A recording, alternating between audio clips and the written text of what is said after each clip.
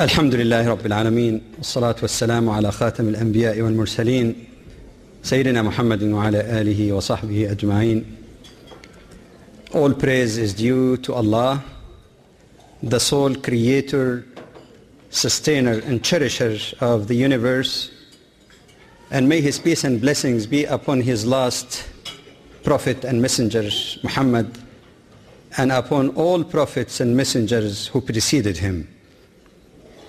I greet you all, my dear brothers and sisters, with the greeting of all of the prophets, from Adam to Muhammad, peace be upon them all, the greeting of peace.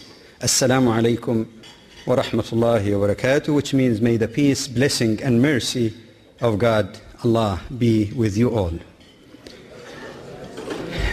And I wish in the very outset to express two things before we get to heavy stuff. First, my great thanks and appreciation for the Ottawa Muslim Association and for all excellencies who graced us with their presence this evening, and to you all for your kind invitation to share a few humble thoughts with you. Secondly, I cannot help also but express my feeling eh, in this kind of gathering with people from various national and religious backgrounds coming together as brothers and sisters. And when I was looking around, one particular verse from the Quran immediately came to mind. The verse appears in chapter 49, it's verse 13. And I just beginning with that by way of introducing the topic. Interesting enough, that verse does not begin by addressing Muslims. It does not say, O Muslims or O believers. It says, Ya ayyuhan nas, O mankind. That's a very inclusive address from God to humanity through that last scripture, the Quran. And in fact, it's interesting to notice that in the Quran, while sometimes it addresses Muslims, especially when it comes to their particular religious duties like prayer and fasting, there are more than 200 verses in the Quran that begins with the address, O mankind, all of you. God is addressing everyone. And that's significant. Then it goes on. It says, we means God, that's royal we. We created you from a single male and a female, or male and female, depending how we translate it, which actually means that you are all one family. And if you have the same set of parents, then there is a human family, diverse as it may be, but one family. Then it goes on. And we made you into nations and tribes. Why?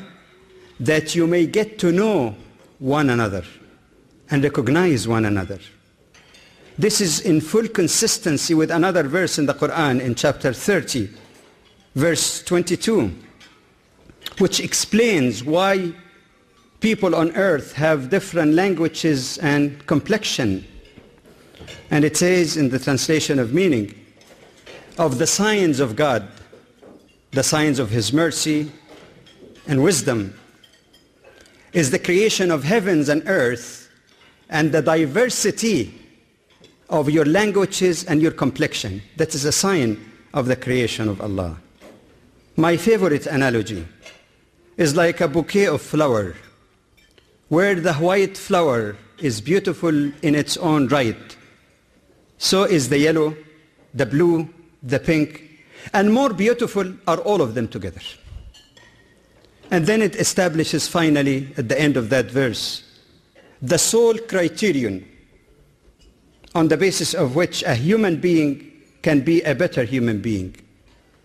It says, Inna akramakum indallahi atqakum. The most honored of you in the sight of God is the one who is most righteous.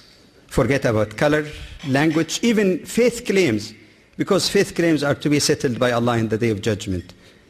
But this is the translation of true faith. I'd like to first make a remark concerning the topic.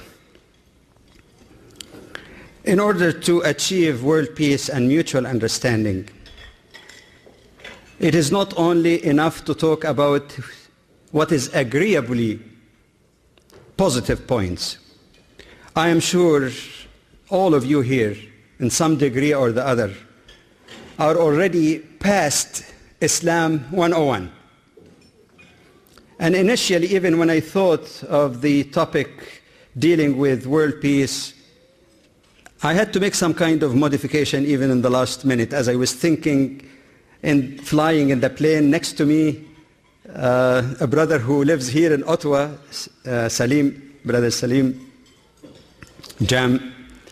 And we kept discussing the topic because I was hesitant myself as to whether I should deal also with these broad issues of what does the term Islam come from, how does the concept of peace fused in uh, theological and eschatological terminology in Islam, how the concept of peace is inherent in the objective, the five broad objectives of Islamic law to safeguard faith, life, mind, honor, and wealth, to explain the meaning of jihad and so on and so forth.